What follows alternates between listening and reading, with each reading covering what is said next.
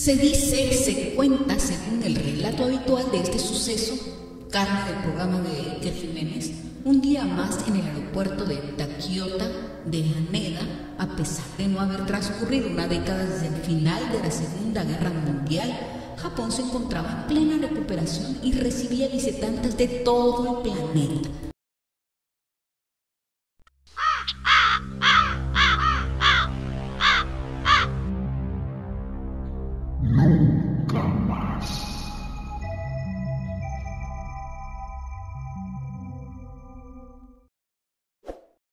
Lo que nos imaginaban los trabajadores de las instalaciones aeroportuarias niponas es que aquel caluroso día de 1954 iban a recibir la visita de un viajero interdimensional o un timador con mucha imaginación y ganas de troleo. Un funcionario de aduanas recibió en mano el pasaporte de un viajero aparentemente llegado desde Europa. Mientras el viajero esperaba en silencio, revisó el documento. Vaya, el país no le sonaba. Tauret. Debía de tratarse de alguno de esos minúsculos que casi parecían de broma, algún ducado o príncipe, de esos como Liechtenstein o de Marino. Sin embargo, tras consultar a su supervisor, comprobó que la supuesta nación de Tauret no aparecía en ninguna parte. El pasaporte, sin embargo, parecía auténtico y tenía estampado en sus páginas sellos de entrada y salida a otros países que el pasajero había visitado aparentemente y sin problema. Algo imposible, dado que el país del que decía venir no existía. ¿No vendrá usted por casualidad de Andorra?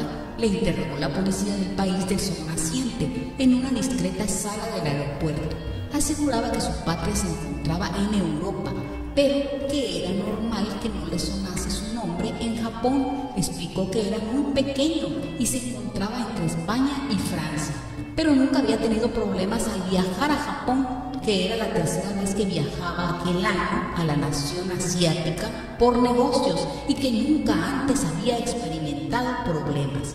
Mostró monedas legales de distintos países europeos que llevaba en una gran billetera y los agentes de la ley, tras comprobar un libro de geografía, le preguntaron si venía de Andorra. El tipo señaló sobre el plano la pequeña nación pirenaica, pero aseguró no haber oído jamás hablar de Andorra en la vida y que Tauret existía desde hacía mil años. ¿Qué diantres? dijo.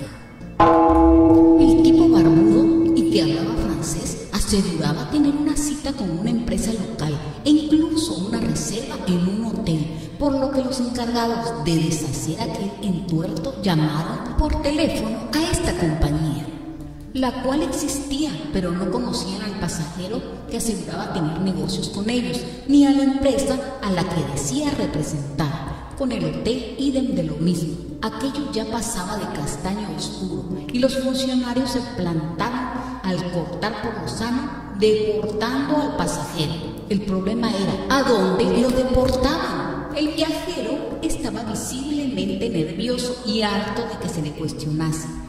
Les enseñó un carnet de conducir emitido en el inexistente país de Tauret, así como una licencia de conducir internacional que decía estar en regla. También le mostró, según el pensante, una chequera de un banco que tampoco existía en ninguna parte más allá de los bolsillos de aquel hombre angustiado.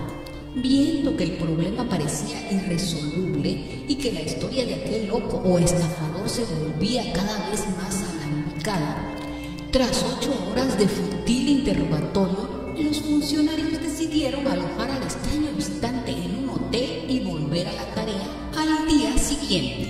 Dos guardias custodiaban la puerta de la habitación durante la noche, pero al entrar en esta por la mañana, como en todo buen cierre de leyenda urbana, el hombre de Tauret se había esfumado junto a todas sus pertenencias. El único sitio por donde podría haber escapado era una ventana a 15 pisos del suelo, y aquella mañana, según el asfalto, no parecía ninguna pista humana. ¿Viajero de otra dimensión o loco, simplemente un desafortunado ciudadano andorrano? Era el protagonista de la historia un enfermo mental, alguien obsesionado con trolear policía japonesa, se trató todo de una simple confusión.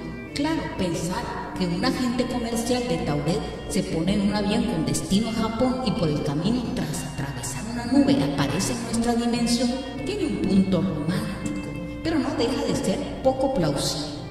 En cuanto a su misteriosa desaparición, el muy copipasteado relato algunas veces habla de la planta número 15 de un hotel, pero también de una especie de calabozo en el mismo aeropuerto. Y si simplemente no hubo guardias de seguridad y el indignado pasajero decidió irse directamente a una embajada a la que le atendiese alguien con un buen nivel de idiomas, algún andorrano en este canal, ¿no serás por casualidad el hombre de Tauret? Esto fue el búnker del cuervo.